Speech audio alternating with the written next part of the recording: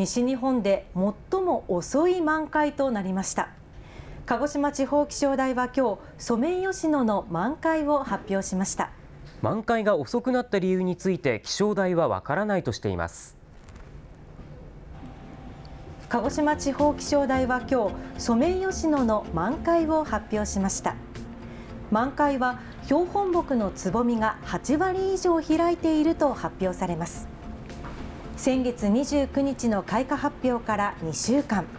平年去年と比べ7日遅く西日本で最も遅い満開となりました。気象台によりますと4月中旬になってからの発表は2020年以来4年ぶりで満開が遅くなった理由についてはわからないとしています。県内ではすでに葉桜となっているところが多いもののまだお花見を楽しめるスポットもあります。今日ソメイヨシノの満開が発表されました。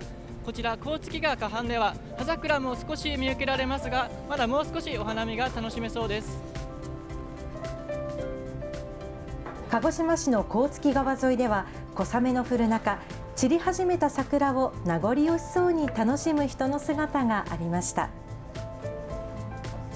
いや美味しいものを食べて 桜も見ながら、はい、雨にも負けてみんな、はい、楽しいです。もう今日はね葉桜だと思ったんだけど、意外と残ってるんでもう満足しております。ウェザーニュースによりますと甲突川沿いでは来週半ばには桜吹雪となる予想です。鹿児島市の祇園の巣公園でも木によってばらつきがあるものの満開の花をつけていました。